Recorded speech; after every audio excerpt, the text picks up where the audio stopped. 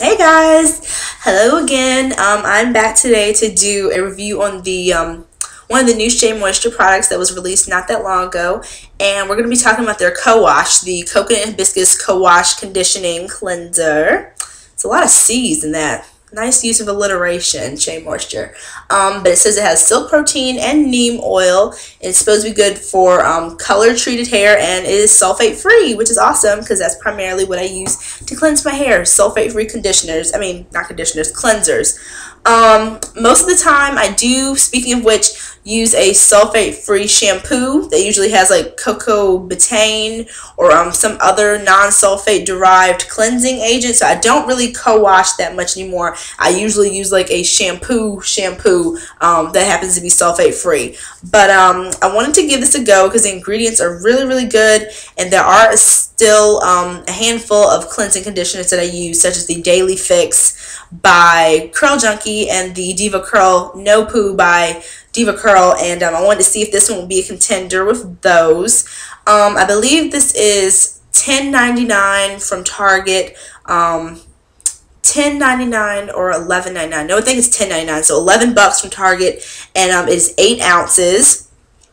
And um, it says that basically it's a detergent-free conditioner, um, conditioning cleanser that removes impurities without stripping the hair of natural oils. It's lightweight, moisturizes, soften, and control frizz in one easy step, and it leaves your curls vi vibrantly bouncy. Um, you're supposed to like massage it in for three to five minutes, working from the roots to the ends, and um, rinse thoroughly with water. So how do I use this? I um, use it just like I do any other shampoo. Like I've mentioned, I do everything in sections. I divide my hair into maybe um, four sections on each side.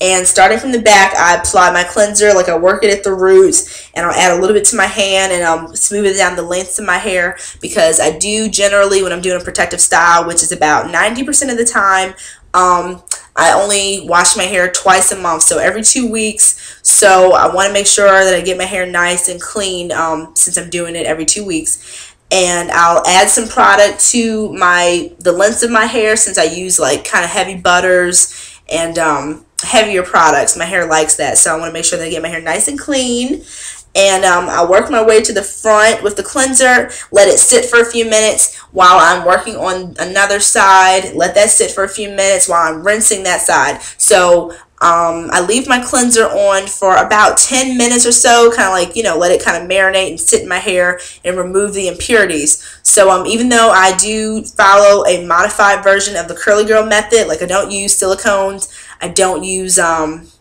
I don't use heavy waxes and things like that, and I don't use sulfates, um, but I do use kind of heavy products with those butters, so I want to make sure that my hair is clean. So, with this product, I found that um, it spreads really, really well. The consistency is really nice. Let me show you guys. It's actually a pretty thick cleansing conditioner. It's kind of hard to get out of here. Um, it's more so, the texture is more so like a um, lightweight conditioner. It's heavier than like a VO5, then um, the spreadability is not the same as like um DevaCurl No Poo that like just like spreads all over your scalp um, really really easily and distributes well. So it distributes but more like a conditioner if that makes sense. So let me show you guys what it looks like.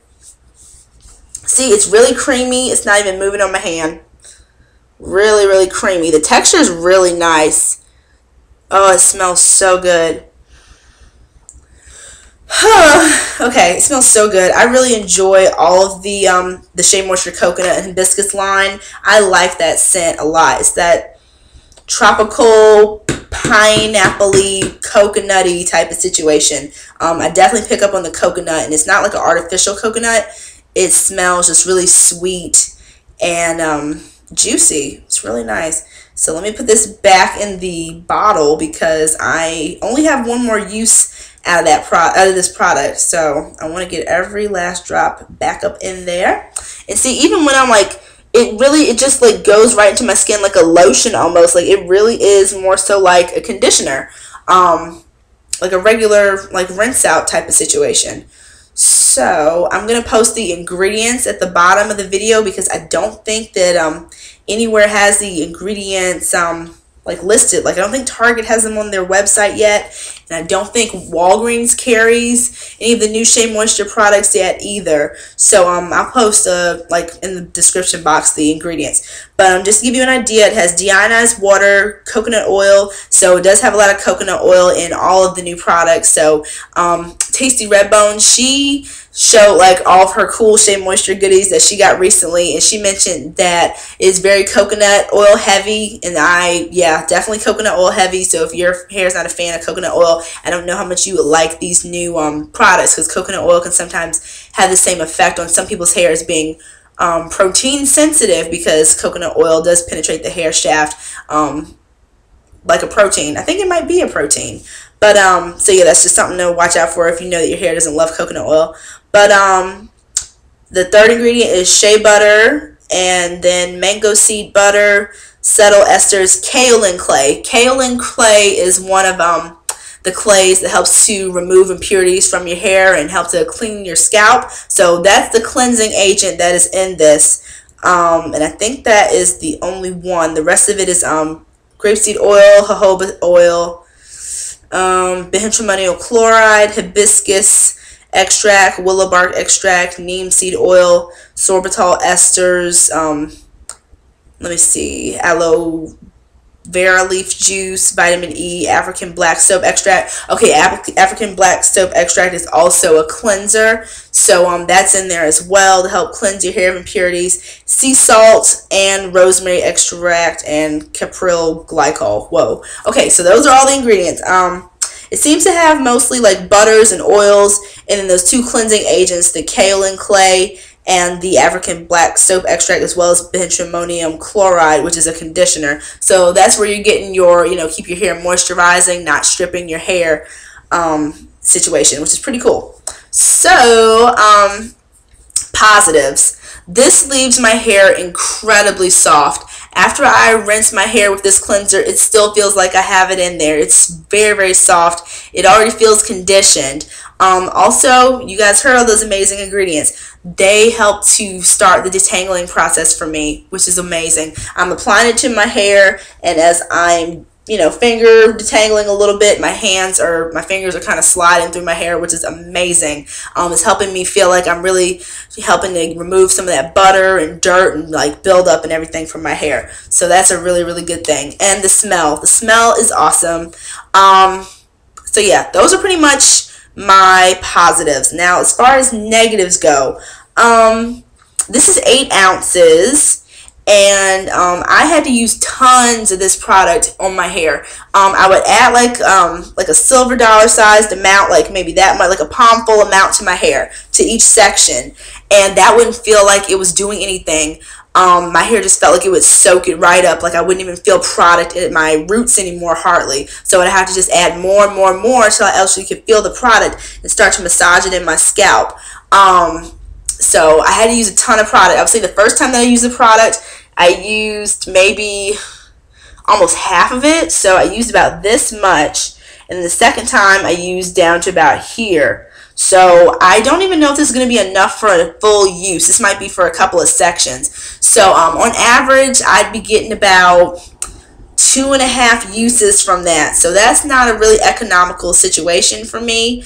Um, I do like the way it makes my hair feel, but it's marketed as a cleanser, and for me personally, it doesn't really clean my hair. Um, like I said, I do use heavy butters, but um, I've used other products, other co-washing conditioners that don't have specific cleansing agents in them that are really heavy or really stripping that still get the butter out of my hair. Um, after I rinse my hair with this, I would see little beads of water there and that doesn't usually happen to me. It almost felt like it didn't really clean it at all. It left it feeling very conditioned and moisturized, but my hair didn't feel really clean, and I could actually see some buildup on my scalp still. So um, that wasn't too great. And I rinsed this really, really well because it does have kaolin clay in it, and I didn't want to leave that in my hair, even though my hair felt very soft and it was tempting. I didn't want to leave it in my hair. So um, I didn't like the fact that I had to use a ton of product for me to even feel like I had product in my hair. Um, I didn't like the fact that it didn't really leave it feeling super clean.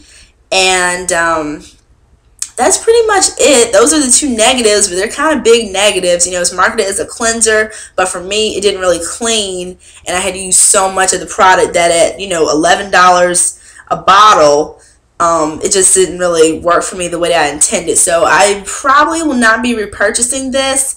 Um, yeah, I probably will not be repurchasing this. I just tend to um, have better luck with cleansers that are a little little stronger than this, not by much, but a little stronger than this to actually make it feel like I'm removing the dirt and buildup and everything from my hair um, when I'm using it. So I like the fact that this leaves, this actually is a really good conditioner, I think. Um, it left my hair so soft that I think I might have better luck with this as a deep conditioner, but I have such little bit left that I don't really think I'll have the opportunity to try it that way. But um, I think that for people who, um, I know Miss Candy Me, she really, really likes this co-wash a lot. She has really, really good results with it. Like, she's in love with it. Um, it works really, really well for her. Um, and let me think.